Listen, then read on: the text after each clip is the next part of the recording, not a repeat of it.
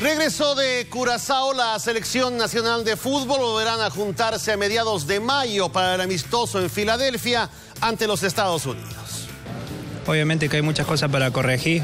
El segundo partido donde lo perdemos eh, ya se nos pasó, se nos salió de las manos el tema ese por una cuestión de que nos expulsaron dos jugadores, eh, un penal en contra.